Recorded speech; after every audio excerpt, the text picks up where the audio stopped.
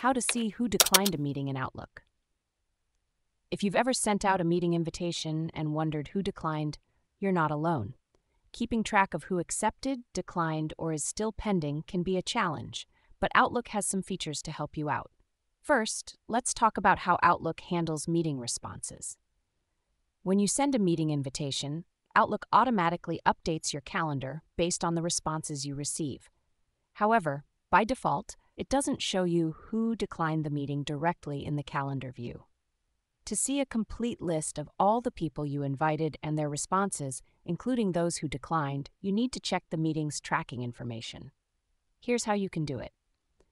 Open your Outlook and navigate to the calendar view.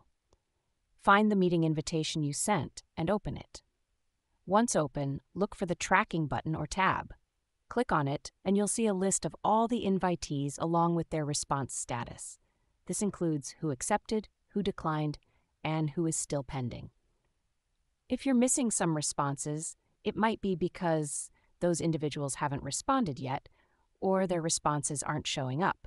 In such cases, you can assume that anyone not listed under the accepted or tentative categories might have declined, but it's always best to verify. For a more detailed view, especially if you have a large number of invitees, you can use the Scheduling Assistant. To do this, open the meeting invitation and click on the Scheduling Assistant button. Here, you'll see a grid showing the availability of all invitees, along with their response status. To ensure you don't miss any declined meetings in the future, you can also configure Outlook to show declined events on your calendar.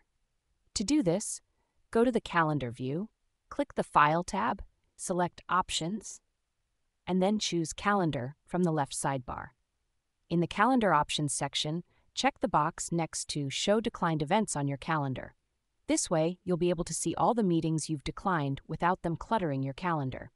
Additionally, if you've accidentally declined a meeting, you can recover it from your Deleted Items folder.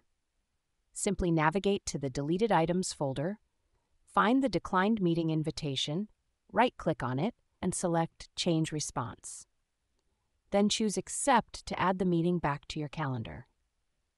By using these features, you can keep a clear track of who declined your meetings and manage your calendar more efficiently.